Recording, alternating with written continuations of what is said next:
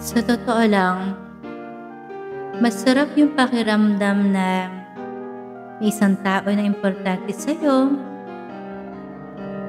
at may isang tao na lihim mong minamahal. Kung meron kang mensahe para dito at nasa harap mo siya, ano bang gusto mong sabihin? Kung ako ang tatanungin mo, mula sa puso, ito'y bubuksan ko.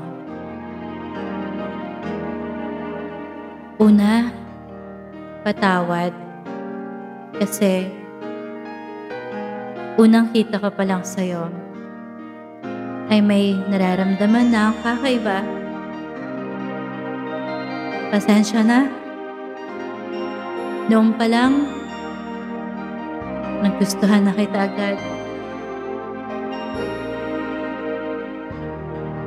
Hindi ko na dapat sabihin kung anong dahilan kung bakit kita nagustuhan. Pero pusa itong naramdaman kahit galing-galing ako sa mga sakit noon. Ayoko na sana muna. Pero ano magagawa ko? Nung nakita kita, wala na. Bumigay na ang mundo ko sa'yo. Kaya I'm sorry ha. Kung noon pa lang, ay minahal na kita agad. Mahiwaga, oo. Pero walang mahiwaga pagdating sa pagmamahal. Gusto ko rin magsabi ng salamat. Dahil sa'yo, kusa akong bumangon. Dahil sa'yo, nagkaroon ako ng inspirasyon sa buhay. Hindi naman dahil sa hindi ko kaya mag-isa o hindi ko kayang tumayo sa sarili kong paa. Pero isa ka sa dahilan kung bakit nakaya kong tumayo ulit. Kahit sobrang baksak ng mundo ko noon. Maraming salamat, naging inspirasyon ka sa buhay ko. At malaking bagay ka na nangyari sa akin. Thank you for adding colors to my life once again. Dahil yung mga kulay itim, ngayon ay punong-puno ng rosas na nakikita ko. Kaya sana, hiling ko sa Diyos ay ikaw na nga.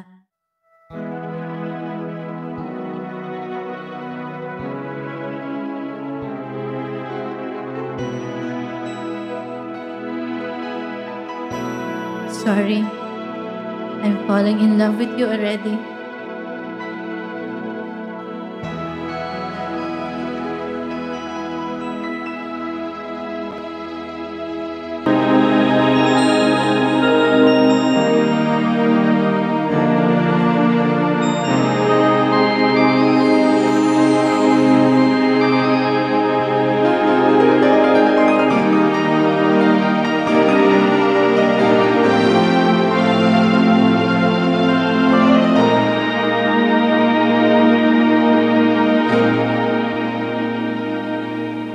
Anong kailangan kong gawin upang malaman mo? Ikaw ay minamahal ko? Kailangan ko'y katulad mo sa buhay kong ito. Nag-iisa lang sa mundo.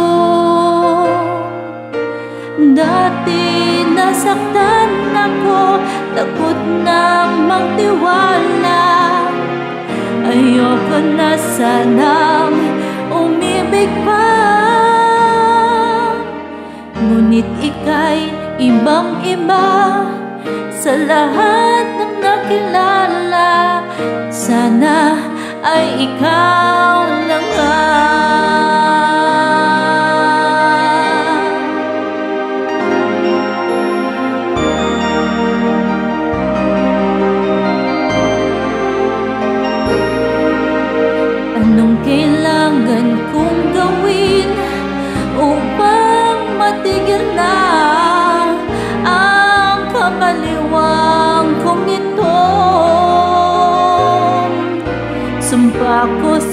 sarili Hindi, hindi, hindi na. Ngunit heto na naman ako. Hindi na papipigil pa At di na papaawan. Sinisigaw na ang pangalan mo. Ngunit ika'y ibang-iba Sa lahat ng nakilala. Sana ay ikaw na nga